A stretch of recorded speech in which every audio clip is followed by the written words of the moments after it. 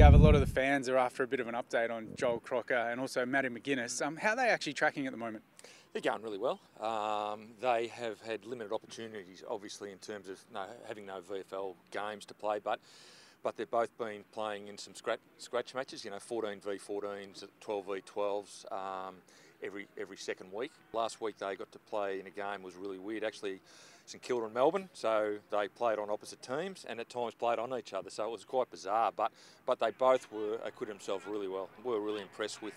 Uh, given the, the, the lack of opportunity to play games, how, how well they played. So it was really, really encouraging.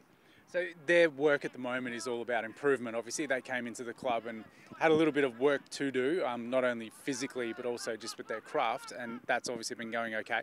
Going really well. They're both um, really professional, really really learning um, how to become AFL players. They, they come into the program pretty skinny, to be honest, and, and, and, and, immature both mentally and physically, as you do when you're young kids.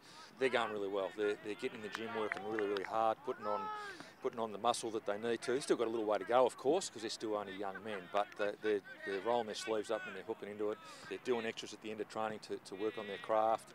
We're really, really pleased with the direction they're, they're heading. So it's probably just supporters a little bit of patience is needed because it does take time, especially with the young bodies coming in and, and learning um, a new way of playing, I suppose. Oh, look, it does. And and they were a little bit probably in terms of uh, their, their physical stature behind some of the other kids that came in. So, yeah, look, they're, they're, they're heading in the right direction. There's no doubt about that. Um, we're really, really pleased with the way they're attacking their footy. And they'll have another opportunity. I think this weekend on Sunday there's another scratch match that's been um, set. So another opportunity just to show some improvement.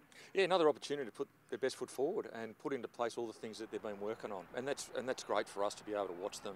You know, I'm not sure how many only have half a dozen players potentially playing, but they'll be in that group, which is great because, as we said before, they need the development. Um, and yeah, as you said, it's a great opportunity for them uh, to put their hand up and um, and to keep improving their footy.